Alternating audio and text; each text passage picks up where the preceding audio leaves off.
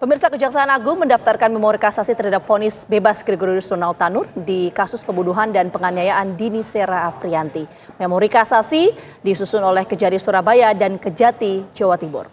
Kasasi bertujuan untuk membuktikan apakah benar peraturan hukum yang tidak diterapkan, pemirsa apakah benar cara mengadili tidak dilaksanakan menurut undang-undang, dan apakah pengadilan telah melampaui batas wewenangnya. Saksikan selengkapnya di Benang Merah memo kasasi untuk Dini.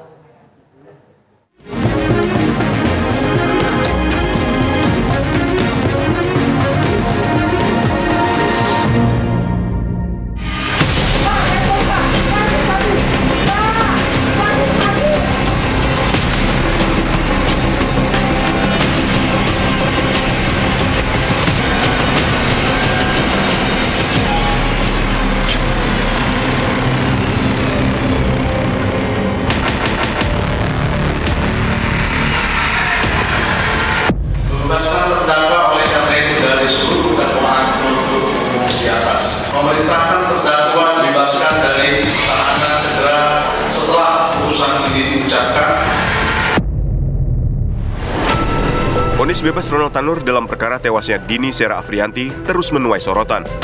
Komisi 3 DPR RI mendorong kejaksaan untuk segera mengajukan kasasi dengan memori kasasi yang berkualitas. Kami mendorong ya kejaksaan untuk mengajukan kasasi ya uh, dalam perkara ini dengan memori kasasi yang berkualitas dan argumentatif. Ya, dalam penyusun penyusunannya kami juga menghimbau kejaksaan, kami meminta kejaksaan untuk melibatkan ahli-ahli hukum pidana. Namun pengajuan kasasi pihak kejaksaan sempat terkendala dengan lambatnya mendapatkan salinan putusan vonis bebas Ronald Tanur dari PN Surabaya. Jangkanya 14 hari terhitung sejak mulai kami ajukan. Hmm. Jadi kami tidak mengajukan karena mana itunya jadi bukti dasar meskipun kami tahu prosesnya seperti apa kasasi kan sudah makanan hari-hari jaksa istilahnya tahu prosesnya prosedurnya bagaimana cara mengajukannya dan uh, penjelasan dasar pengajuan kasasi tersebut karena memang hakim menggunakan lebih kewenangannya dalam mengambilkan segala fakta-fakta yang tertuang pada terbukti pada saat persidangan bisa sudah kuhap sudah kami siapkan tetapi uh, secara administratif harus dilengkapi dengan diterimanya uh, salinan putusan tersebut. Sementara itu pihak Pengadilan Negeri Surabaya mengatakan bahwa dalam beberapa hari server di pengadilan mengalami gangguan sehingga salinan putusan belum bisa diunggah. Jadi perlu kami sampaikan memang ya bukan kami mencari-cari alasannya dalam dua hari ini juga memang server kami server kami untuk mengupload ini memang ada kendala ada kendala. Tadi Pak Ketua juga sudah menyampaikan hari ini sudah bisa sudah bisa dihapus Meski terkesan remeh, permasalahan teknis semacam ini dapat berakibat fatal. Mestinya itu kan gampang sih, bisa diminta. Bahkan sekarang yang asli itu juga sudah diupload di dalam di laman Mahkamah Agung. Putusan nomor sekian itu sudah lengkap, masa kejaksaan tidak punya? Atau kalau mau menyiapkan ke tuntutan, cetak itu aja dulu lalu susun berdasar itu. Nanti sambil nunggu aslinya dalam waktu 14 hari ke depan. Tapi saya kira itu sangat-sangat teknis kalau soal uh, belum menerima salinan putusan itu. Pihak Pengadilan Negeri Surabaya juga mempersilahkan kejaksaan untuk mengambil salinan putusan sebagai salah satu syarat pendaftaran memori kasasi. Permintaan dari kejaksaan untuk minta ya silakan, apanya silakan ke sini ke bagian pidana nanti akan ditindaklanjuti untuk melakukan memori kasasi.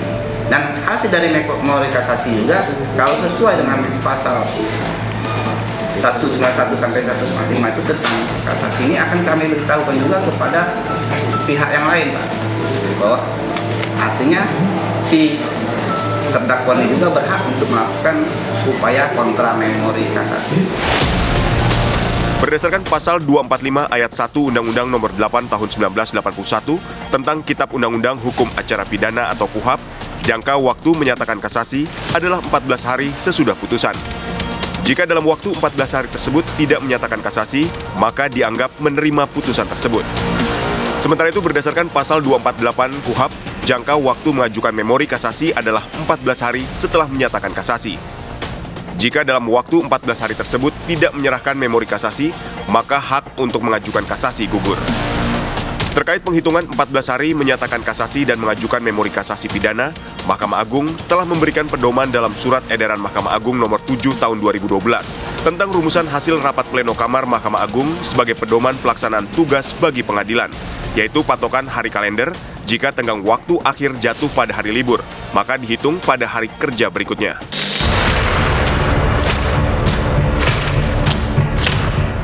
Jaksa Penuntut Umum Kejaksaan Negeri Surabaya selaku JPU dalam perkara pembunuhan dan penganiayaan dengan terdakwa Ronald Tanur hari ini mendatangi gedung Pengadilan Negeri Surabaya.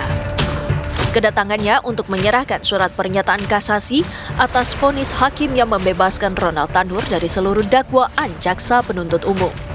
Penyerahan akta pernyataan kasasi ini sekaligus untuk menegaskan pernyataan jaksa yang menyatakan dalam sidang putusan pada tanggal 24 Juli 2024 lalu.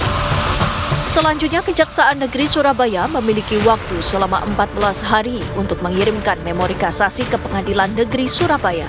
Selanjutnya, maka langkah-langkah kami adalah untuk melakukan atau menyusun memori kasasi yang tentunya nanti memori kasasi ini kami lakukan gelar dulu yaitu ekspos secara berjenjang dari Kepala Kejaksaan Negeri Surabaya dengan tim jaksa penuntut umumnya tentunya nanti akan langsung uh, menggelar atau ekspos ini ke Kejaksaan Tinggi Jawa Timur.